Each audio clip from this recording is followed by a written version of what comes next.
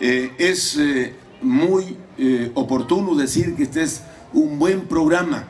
Por eso hemos andado persiguiéndolo junto con José Luis para que no, no nos lo quiten, porque somos el estado que más migrantes tiene fuera del país. No es ni Zacatecas ni Jalisco, es Michoacán. Tenemos casi 3 millones y medio de hermanos nuestros que viven fuera de la frontera, fuera del país, y que pues sus familias o ellos mismos necesitan que se les acompañe. Eh, pero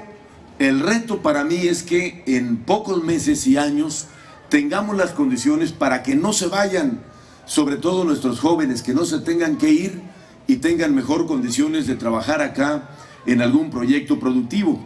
Y eh, estudien, eh, vamos a empezar, por ejemplo, el programa de becas este mes, el compromiso que hice de las becas salario, vamos a arrancar este mes ya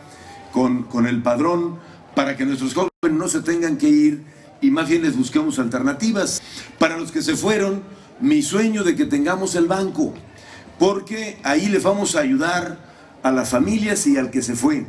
que pueda a través de ese banco del migrante de Michoacán mandarle el recurso a su familia, que van a poder mandar el dinero y que cueste menos, van a poder ahorrar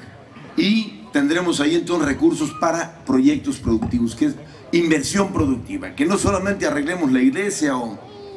la plaza del pueblo, sino que también se vaya a inversión productiva y que eso nos ayude a generar empleo.